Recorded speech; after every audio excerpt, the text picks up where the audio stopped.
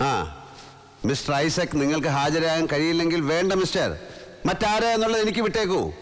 ഈ നാട്ടിൽ വേറെ ഉണ്ടല്ലോ വക്കീൽമാ ആ thank you so much Isaac വക്കീലോ? ആ അയാൾക്ക് ഹാജരാകാൻ കഴിയില്ല. ജൂനിയേഴ്സിന് ആരെങ്കിലും വിടാമെന്ന് നാറി. വലിയതാ അപ്പൊ പിന്നെ ആരാ? ഇയാളാണെങ്കിൽ ഒരു വിശ്വാസമായിരുന്നു ഇയാളാരെ? പൽക്കി വാലയാ പോമറ പുല്ലനോട്. ജയകൃഷ്ണ ഓ. ആ മാഗസിൻ ഒരു സിറ്റിങ്ങിന് രണ്ടും മൂന്നും ലക്ഷം വാങ്ങുന്ന സുപ്രീം കോർട്ട് വക്കീലുണ്ട്. ഞാൻ വിളിച്ചാൽ പറന്നു വരും അവൻ. ഹബീബിനറിയാം വിക്ടോറിയ നമ്മുടെ സീനിയർ ആയിരുന്നു. നന്ദഗോപാൽ മാരാർ. നോക്കട്ടെ. അല്ലാ ഇത് നരിയല്ലേ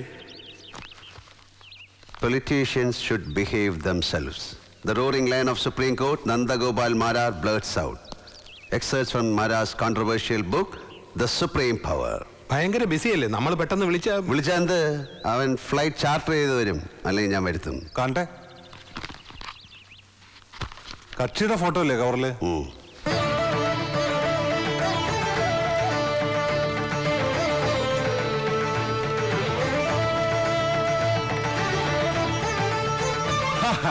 ഇത് ഹബീബ് പറഞ്ഞ പോലെ നരിയാണേ!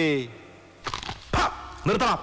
ഏരപ്പാളികളെ നിന്റെയൊക്കെ ശബ്ദം പൊങ്ങിയാൽ രോമം രോമത്തിന് കൊള്ളുകലെന്റെ നന്ദഗോപാൽമാരാർക്ക് വിലയിടാൻ അങ്ങ് തലസ്ഥാനത്ത് ദില്ലിയിലും ഒരുപാട് ക്ണാപ്പന്മാർ ശ്രമിച്ചു നോക്കിയതാ. നാസിക്കിലെ റിസർവ് ബാങ്കിന്റെ നോട്ടടിക്കുന്ന പ്രസ് ഉണ്ടല്ലോ കമ്മട്ടം. അതെടുത്തോണ്ട് വന്ന് തുലാഭാരം തൂക്കിയാലും മാരാരിരിക്കുന്ന തട്ട് താണു തന്നെ ഇരിക്കും. മക്കളെ രാജസ്ഥാൻ മരുഭൂമിയിലേക്ക് മണൽ കയറ്റി വിടല്ലേ? അല്ല മിസ്റ്റർ മാരാർ തെറ്റിദ്ധരിക്കരുത്. ഞങ്ങൾ അങ്ങനെ പണം തന്ന് ഇൻഫ്ലുവൻസ് ചെയ്യാൻ വന്നതല്ല. പണമല്ല പവർ ആയാലും അതിന്റെ ഒന്നും മുമ്പ് വീണ ചരിത്രം ഈ മാരാർക്കില്ല.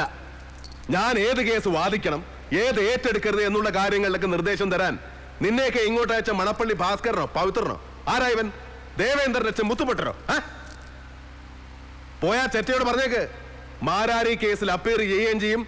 മേനോൻ സാറിനെ പുല്ലുപോലെ ഇറക്കിക്കൊണ്ട് വരികയും ചെയ്യുമെന്ന്. എന്നെ വിളിച്ചത് എന്ത് ചൂടനാ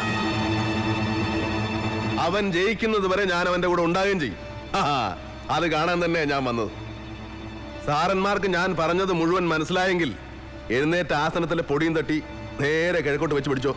എണീച്ച് പോടാം.